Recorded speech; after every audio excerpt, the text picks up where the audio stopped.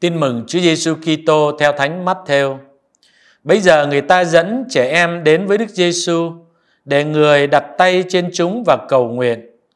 Các môn đệ la rầy chúng, nhưng Đức Giêsu nói: cứ để trẻ em đến với thầy, đừng ngăn cấm chúng, vì nước trời là của những ai giống như chúng. Người đặt tay trên chúng rồi đi khỏi nơi đó. Đó là lời Chúa. Xin kính chào quý ông bà, anh chị em. Hôm nay là ngày thứ bảy trong tuần thứ 19 mùa thường niên.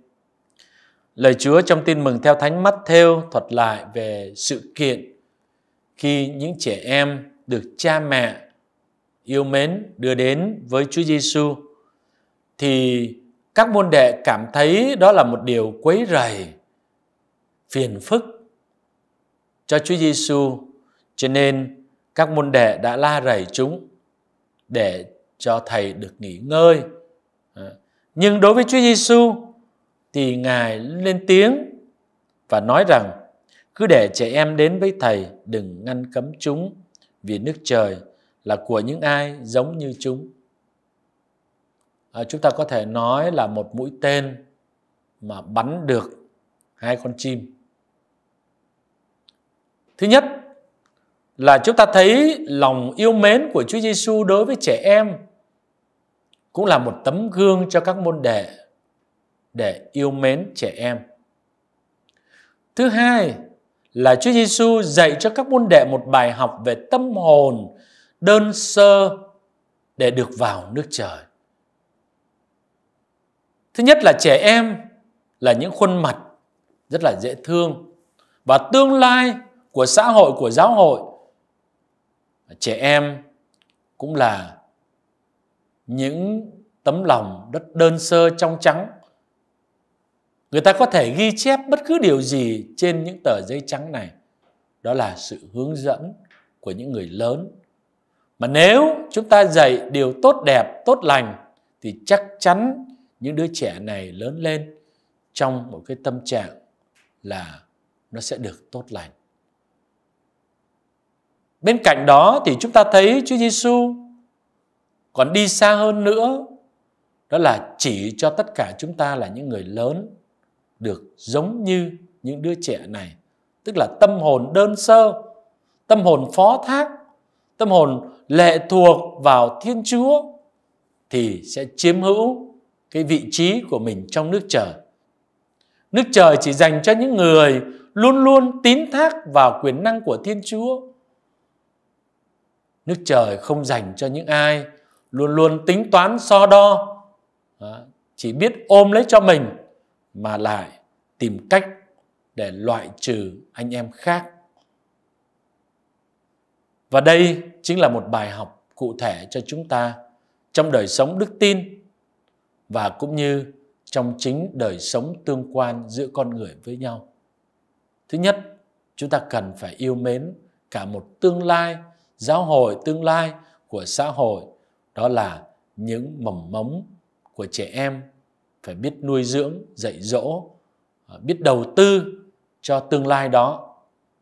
Điều thứ hai đó là mỗi người chúng ta hãy cố gắng để thực hiện cái tính cách của trẻ em đó tính là phó thác thưa quý ông bà anh chị em điều này chúng ta nói về mặt lý thuyết thì rất là đơn giản. Nó có ý nghĩa của nó đó. Nhưng trong thực tế thì chúng ta thấy rằng là hình như chúng ta thích làm người lớn hơn. Thích nhận xét thích đoán, phán đoán người này, phán đoán người kia. Rồi chúng ta muốn biết nhiều chuyện lắm. Nhất là xã hội ngày hôm nay chúng ta thấy ở trên mạng đầy hết. Người ta muốn biết nhiều chuyện bằng cách là người ta lên trên mạng, chỉ nghe nói trên mạng thôi, rồi người ta cũng loan truyền những tin nó không có sự thật. Hay chúng ta có thể nói là một cuộc sống ảo. Đó là những tính cách mà người ta đang muốn làm người lớn, biết mọi chuyện những điều quan trọng mà người ta chưa biết đó là chưa biết sự khiêm nhường, chưa biết sự phó thác. Chính điều đó chính là điều mà ngày hôm nay lời chúa vẫn là một bài học cho chúng ta rất cụ thể. Để mỗi người chúng ta cúi đầu đấm ngực, nhận ra mình là con người giới hạn, mình là con người yếu đuối, mỏng giòn. Không thể nào mà chúng ta sống một cuộc sống của chúng ta ngày hôm nay mà chúng ta có thể nói là chúng ta một con người hoàn hảo hết. Chỉ có thiên chúa mới hoàn hảo, còn con người chúng ta là con người giới hạn. Chúng ta cần phó thác để cho chúa hướng dẫn. Chúng ta vẫn thường nghe nói là chúng ta thấy người tính không bằng trời tính. Nếu chúng ta biết để phó thác cho tiền, quyền năng của thiên chúa thì quả thực là chúng ta đó là một sự khôn ngoan còn con người chúng ta có dù có khôn ngoan mấy đi chăng nữa chúng ta không thể nào tính toán bằng Chúa được. Cho nên hình ảnh của những trẻ em mà Chúa Giêsu hôm nay đưa ra đó là một hình ảnh mà chúng ta cần phải được lập đi lập lại, nhắc đi nhắc lại trong đời sống của mình. Nếu không, một ngày nào đó chúng ta sẽ trở thành những con người kiêu ngạo, không cần Chúa nữa. Bất chấp tất cả mọi chuyện, không cần lề luật nữa. Sống buông thả mọi chuyện. Thì đó là những con người chúng ta thay Chúa để tính toán cuộc đời của mình. Thì nước trời không dành cho những con người đó.